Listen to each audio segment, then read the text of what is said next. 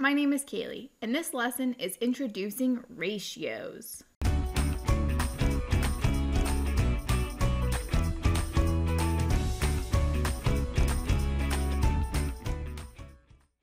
Have you ever sorted colored blocks? Say you have a bunch of colored building blocks spread all over the floor, and you decide to put all the red pieces together, and all the green pieces together, and all the blue pieces together. Let's do it together using a game made by CK12.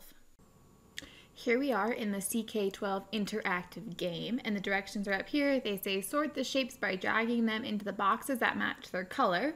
And after you sort the shapes, fill in the blanks to complete the ratio sentences. So let's get started here. I'm going to start by putting all of the red blocks into that red rectangle at the bottom. We have some fun shapes. And we got one more here. And my blue box, I'm going to put my blue blocks in the blue rectangle. Like that. And finally my green blocks, we'll put in here. And now some questions.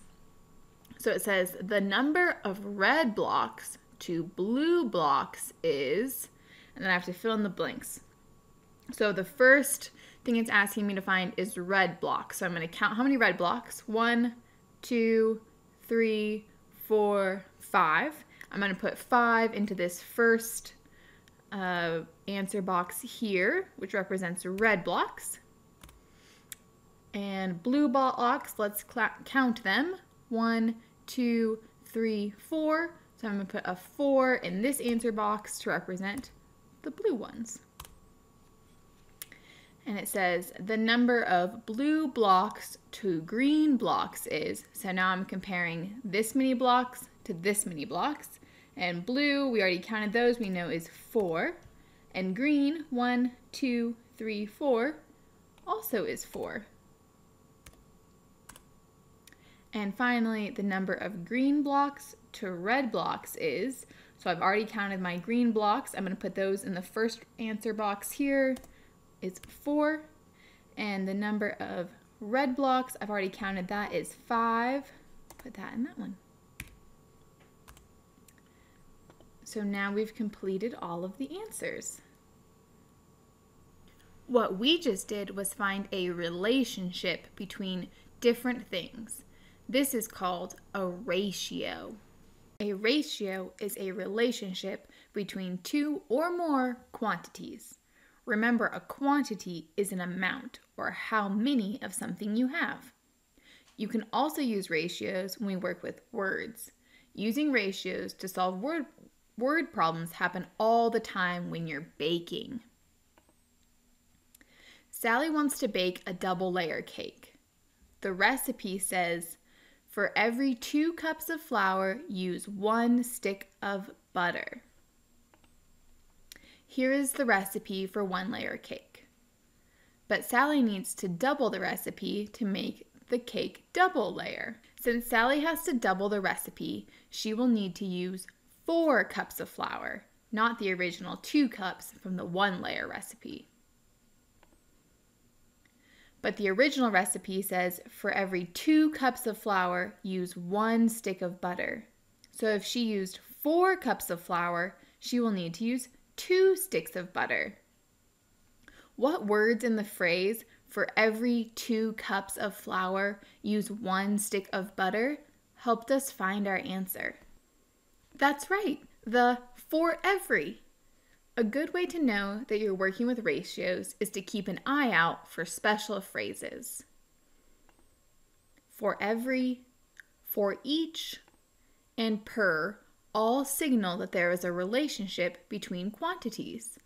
Let's practice identifying ratios with these phrases. What do these phrases tell you about the ratio of legs to spiders? For each spider, there are eight legs. There are eight legs per spider. There are eight legs for every spider. The ratio is 8 to 1. there is another way to write ratios. It looks like this, where we say 2 when we see the colon. It's important to note that the order you write a ratio is very super duper important. Let's use a tape diagram to practice writing our ratios. So here we are in another CK12 game, and we're going to write the ratio of blue blocks to red blocks. And we're going to write the number in these answer boxes here. So this ratio is, with the blue question mark, is the number of blue blocks, 1, 2. So we'll put a 2 in there. To red blocks, remember we say a 2 when we see the colon, is 1, 2, 3, 4, 5. And we're right. Let's do another one. This ratio is, see the blue question mark goes first. That means we're talking about blue blocks. One, two, three, four. Four blue blocks. Colon means to. The number of red blocks, I have a red question mark. One, two, three, four, five. We did it! Ratios may seem new to you right now, but you've probably been doing them for a while. A ratio can also be written as a fraction. Let's think back to our spider ratio. How do you think we could write our ratio for spiders to legs as a fraction? Remember the ratio of legs to spiders is 8 to 1 we can write it as a fraction that looks like 8 over 1. Or we can say the ratio of spiders to legs is 1 to 8 and can be written as a fraction that looks like 1 over 8. Notice that even when we use fractions to represent ratios, the order of the numbers is still very important. The first number goes as the numerator of the fraction, and the second number goes as the denominator of the fraction. That completes your intro to ratios. You did a great job. Keep studying ratios by playing our games and completing the activities. Have fun and remember to always be clever. Hey, hey.